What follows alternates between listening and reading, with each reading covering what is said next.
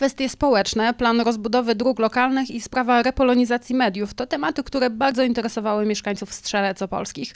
Wzięli oni udział w spotkaniu z posłanką Joanną Lichocką z Prawa i Sprawiedliwości, a spotkanie to odbyło się w ramach projektu Polska jest jedna. Posłanka przedstawiła najbliższe plany rządu, w tym założenia piątki Morawieckiego.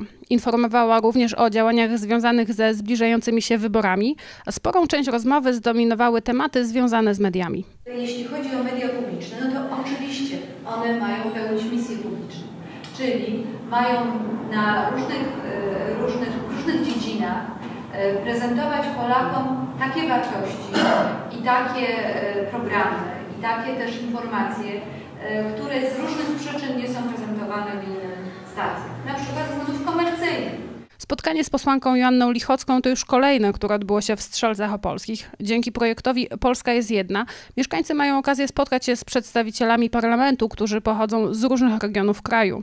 Czy tego typu spotkania się przyjęły i czy mają szansę być kontynuowane? No mam nadzieję, że tak. Y, to jest, to jest piękna akcja.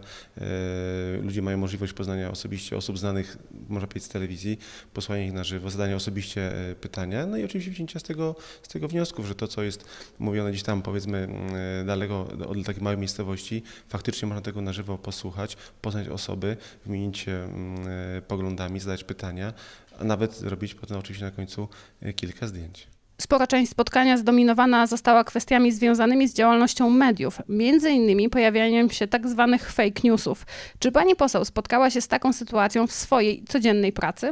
E, oczywiście, myślę, że tak naprawdę to chyba każdy z nas spotyka się z takimi sytuacjami, a jeśli chodzi o tematykę, to też tak się spodziewałam, bo zauważyłam, że jednak w zależności od e, tego, czym zajmuje się dany gość, który przybywa na Opolszczyznę, to też e, w rzeczy samej przeważnie te pytania dotykają właśnie tej sfery, tej e, płaszczyzny. płaszczyzny. Tutaj w przypadku pani poseł Joanny Lichockiej, no, jest przedstawicielem Rady Mediów Narodowych, to też ta tematyka była bardziej skupiona właśnie na tych sprawach.